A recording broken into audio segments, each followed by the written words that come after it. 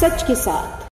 Varanasi commissionerate police को सोमवार को चेन स्नैचिंग के मामले में एक बड़ी कामयाबी हाथ लगी है, जब भेलूपुर पुलिस ने मुखबीर की सूचना पर पद्मश्री चौराहे से 80 जाने वाले मार्ग पर दबिश देकर चार अभियुक्तों को गिरफ़्तार कर लिया। पकड़े गए अभियुक्त मनीष सिंह, राकेश कुमार वर्मा और विठल भगत शातिर चेन स्नेचर हैं। इन अभियुक्तों में एक अभियुक्त नाबालिग भी है। पुलिस की पूछताछ में अभियुक्तों ने बताया कि हम लोगों ने कीनाराम आश्रम से एक टोटो सवार महिला के साथ चेन स्नैचिंग की घटना को अंजाम दिया था। इस चेन को हमने अपने दोस्त राकेश वर्मा को दिया था, जिसने चेन गलाकर चौक टंच सोना व्यवसायी विठल भगत को बेचा था, जिससे हमें तेरह हज़ार रुपए मिले थे।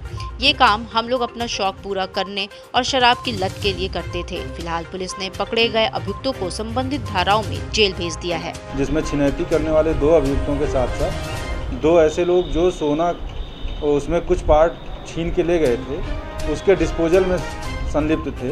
ऐसे चार अभियुक्तों को गिरफ़्तार किया गया है और चारों अभियुक्तों को गिरफ़्तार करके आगे की विवेचना की जा रही है।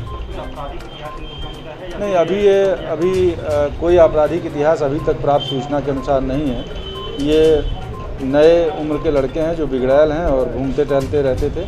अचानक उस दिन नशे करने के बाद जो है इनके मन में ये आया कि हम ये काम कर लें, जिसके प्रयास में ये हुआ।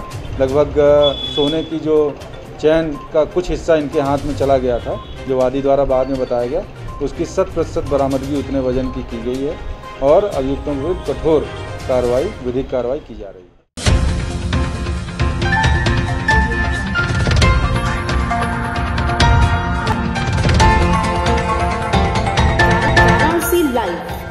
सच के साथ।